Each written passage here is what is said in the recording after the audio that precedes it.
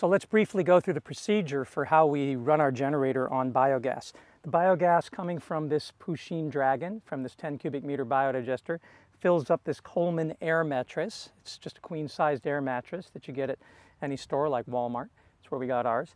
And uh, that pipe then goes into an aquarium pump. This is a 20 watt aquarium pump. And then the aquarium pump is plugged in to a snorkel. Um, let me just get this in here for a second. They're just using rubber hoses. It's nothing fancy. These are just the wrong size, so just sort of wedge it in here. That'll work.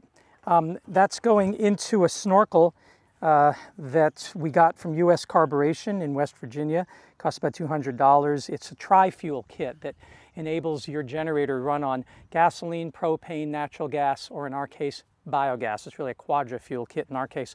Um, it bolts on in about 15 minutes, just goes between the air filter and the carburetor, and your engine is ready. And then because the biogas isn't under any pressure, I have to pump it. And since there's no electricity out here, I start, I plug this in to the generator and I start the generator on gasoline and then switch over to biogas because that'll then, uh, once the engine's started, it'll start pumping the gas in. So now I put the fuel down um, so that it's flowing and, um, and then I'm going to pull the cord. Another reason why it's good to start the engine on gasoline is because biogas is fairly wet gas and it's not good with spark plugs and you'll end up uh, you know, breaking your cord more often than not, starting pulling so many times for a pull start. So started on gasoline, small sacrifice, or started on any liquid fuel that you can. And once it's started, now the pump is running, so we're good with that. Then turn off the gasoline and you'll hear it switch to biogas. You'll also see that it's smoky when it starts but then once it switches to biogas, all the smoke is gone and so's the smell. Because biogas is clean burning, turns into carbon dioxide and water vapor.